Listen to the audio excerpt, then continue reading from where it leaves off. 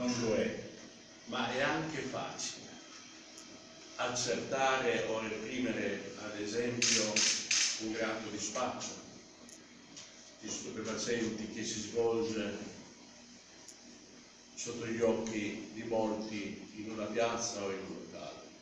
Ciò che è difficile è individuare invece quelle condotte che sono brutte, pericolose, che si svolgono e si effettuano nel chiuso di una, una casa o anche solo di una stanza.